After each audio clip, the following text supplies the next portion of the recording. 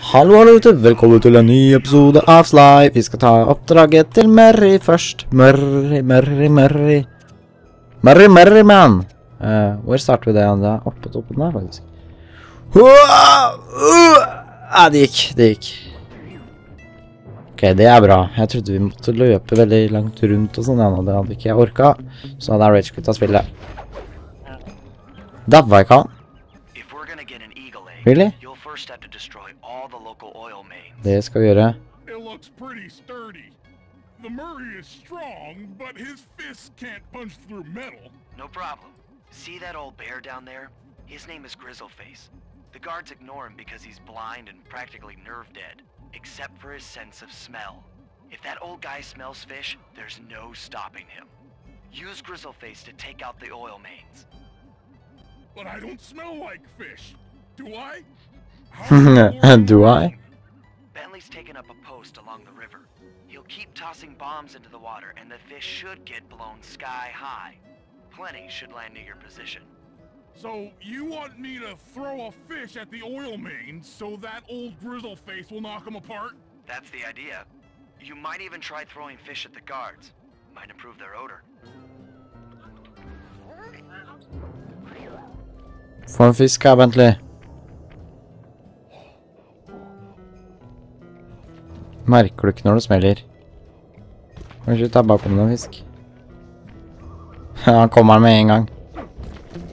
Destroy that shit! Nice work. Trot old Grizzleface over to the next oil main by luring him with fish. Ok, det er bra. Bare får man... Oi, der var det en fisk. Der! Kan du ha fisk, eller? Kom med. Kom med, bjørnen min. Hm, bjørnen min, ass. Det er faktisk ikke min engang. Og du er skip. Nei. Nå blir jeg jo ei der. Det er ikke bra. Her kan han vel stå. Oi, jeg er safe her faktisk. Det er rart. Der kom det en fisk. Kommer han... Løper han rundt? Han gjør det faktisk også. Nice. Way. Han kommer. Det er jo dritbra, da. Hvor er den, da? Bjørnen. Bjørnen. Han kommer sikkert. Det er bra. Da er han vel på vei, da. Han er ganske treig, synes jeg. Ikke verdens raskeste, i hvert fall. Ja, men kan han skynde seg litt, eller? Hæ? Hæ? Nei. Nå håper han kommer. Ingen eh, Ingen bjørn i sikte, i hvert fall. Hvor er fisken? Jeg trenger fisk, Bentley. Takk, Bentley.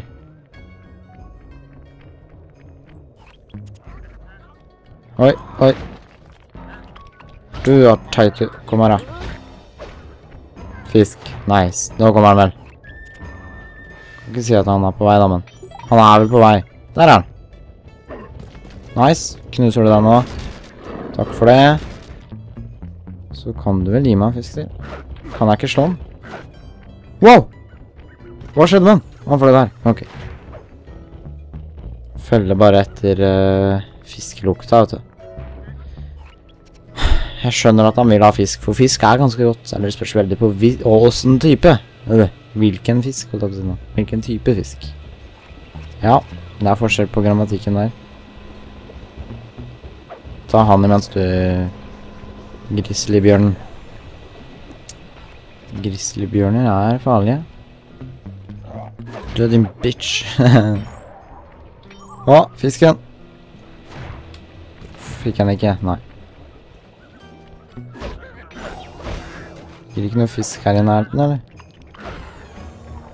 Fisk. Landa en fisk her nå? Der var det en fisk. Grizzleface is moving towards your position. Grizzleface. Jeg, jeg liker navnet hans. Grizzleface. The Grizzleface is on his way to you. Just stay tuned and wait for him. Bjørnen. Jeg ser han ikke. Den bjørnen er treig. Kanskje han Kanskje han bare prøver å gå så raskt han bare kan, men det er ikke så lett å være blind. Tror jeg, da. Jeg er jo heldigvis ikke blind, men jeg kan forestille meg at det er ikke så lett å være blind og så løpe gjennom alle disse bjørnefellene og sånn. Kanskje han døde på veien. Kanskje, kanskje han er død. Det er ikke bra. Se på de skoa til Murray. Se på skoa hans. De er skikkelig rare. Hæ? Så flate sko. det er så rart. Der er Gristle Face. Han spurter, ass. Det der er full spurt. Nå knuser han vel den nå. Nice. Du er så flink, altså, Gristle Face. Hvorfor knuser han ikke meg når jeg holder fisk? Siden jeg lukter jo fisk nå. Han skal egentlig bare drepe meg. Det er veldig rart at han ikke dreper meg, men ok. Spillet skal få lov til å være rart. Hm. Og så skal vi komme oss ned dit. Grizzleface er vel ikke så sporty at han bare hopper ned her, han vel? So I guess I have to jump on uh, first. Ok, jeg kommer egentlig stå her, jeg. Er han Anna blind? Hva skjer med øya hans? Han må være blind, ellers så sover han på jobb. Jeg tviler på at han sov på jobb også. Da da er han en skikkelig slask. Du, din lille and. Du mangler din tann. Han kommer, ja. Det er bra. Kan ikke stå her og holde en fisk i evigheter heller, for det ser veldig, veldig dumt ut. Hva skjer nå?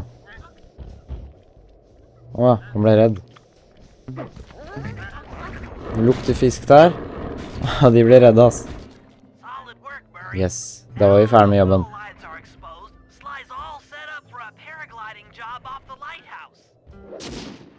Dritnice. Vi, vi kan vel egentlig ta et oppdrag til denne episoden. Egentlig.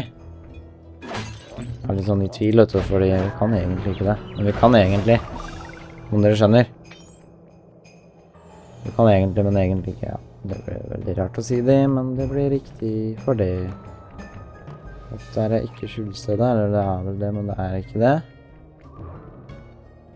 Åh, der tok vi tak. Det er bra, vet du, klarer å komme deg opp, du òg, selv om du er feit og stor og sånn. Vi se, Han har et oppdrag der borte, vet du. Helt der borte, vet du. Oi, klarer ikke Bentley oppe like langt som Murray? Det var litt rart. Eller ikke var litt rart, det var litt for rart, kan man vel si. Snipa! Nei. Det fikk vi ikke til, vet Kom- da, tømmerstokken. Tømmerstokken. Nå har du kommet, altså. Nei. Der er den. Det rakk jeg jo. Bam. Vi dreper han nå. Boom. Den tømmerstokken må jeg rekke. Åh. Ja, det gikk. Det gikk, vet du. Skal vi se. If we can trust Murray's informant, that's the silo with the battery hidden inside. Ja. To prepare it for travel, we'll have to drain off its northern light energy. By attaching a boat's grappling hook to the top of the silo, we should be able to deplete power from the battery. Murray's Det position vi. to help throw you out onto the boat. Once on board, I'll hack into its steering controls and move the vessel close enough to fire its grappling hook. Okay, I'll climb on top of the silo and attach the hooks. How many grappling lines will it take to drain the battery? Three should suffice. Once the first line's attached, Bare Murray and tre, I will altså. pop Det er into nice. boat. You should stay in position. Finally, I get the easy gig. Finally, I get the easy. Ja. I'm all set to throw you to that boat. These days, my aim is impeccable. Der fikk vi det til. Oi. Der. Kaster så sinnssykt langt. Now to hack the steering controls. Yes, hackinga er jo alltid dritkult, egentlig. Å, nye fiender. Ikke bra. Den var jo dritlett. Så langt derfra. Oi, oi, oi, oi. Nå er vi litt tidlig ute, da. Åh, god. Inn der skal vi, vet Ok. Det er jo egentlig bare til å sirkle rundt her. Så kommer vi oss inn til slutt. Verre er det ikke, ass. Der klarte vi den. Nice. Og så er det det å skyte hooken. Ah, hacking this is nice. Der står Murray. the. Det... Det the er sov, heter det kanskje. Oh. Hva driver jeg med? Det står Sly der oppe. Skal bare treffe Sly. Der. Den var alt for lav. Den var vel we're tydeligvis. Ja, vi skal komme oss til neste båt.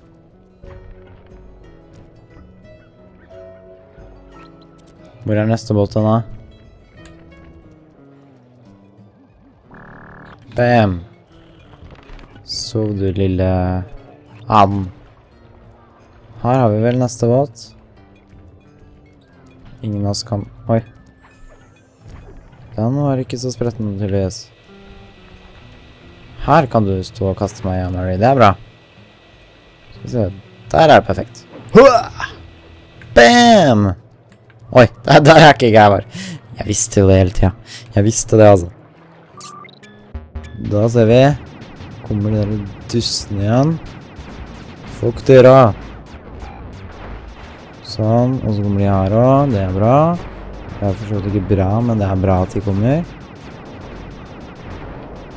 Sånn. Sånn. Oi, oi, oi. Prøvde dere? Ok, bra. Da bare slå ned fireballen. Så er vi inne. Det er gjort på 0,06. Kom igjen. Kom igjen, Bentley. Du klarer dette, Bentley. Du er kjempeflink, gutta. Jeg synes Bentley er flink til å hacke. Kommer seg inn raskere enn meg liksom på hacking. Ikke at jeg klarer å hacke da, det, suger jeg faktisk på. Ok, skal vi se. Sånn. Han kjører! Yay! Sov, Mary! Mary, sov. ok. Da skyter vi opp på sleien. Bare sånn overdrevet høyt, så treffer han alltid. Gjør det ikke det? Åh! Rett under der. Oi. Der har vi den. Ja, den var blinkskudd. Bullseye, som det også kalles. One more grapple. Det skal vi klare. Eh, oi. Vi skal faktisk ned der. En plass. Der skal vi. Ok.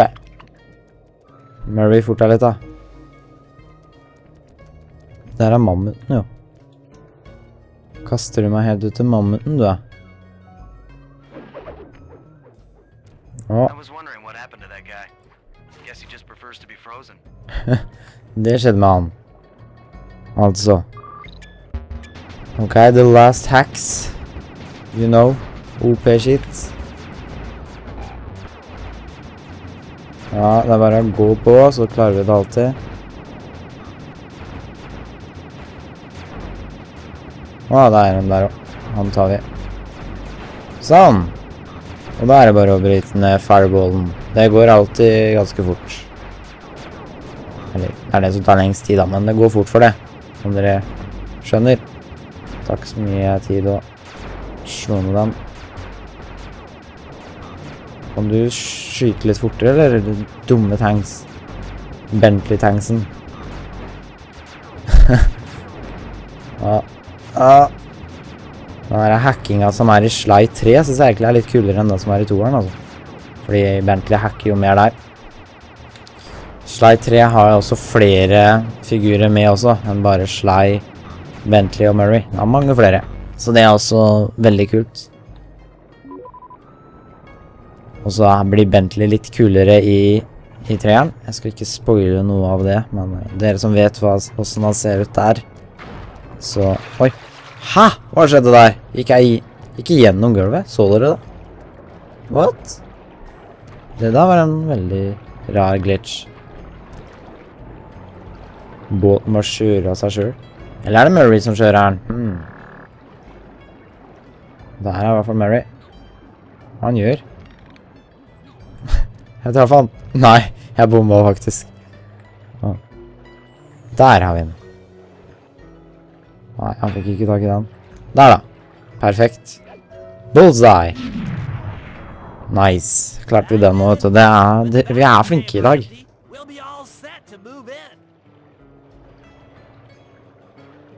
Yay, mission complete. Yes, men da tror jeg vi avslutter denne episoden. Husk å trykke på liker, husk å trykke abonner, så snakkes vi i neste episode. Ha det bra.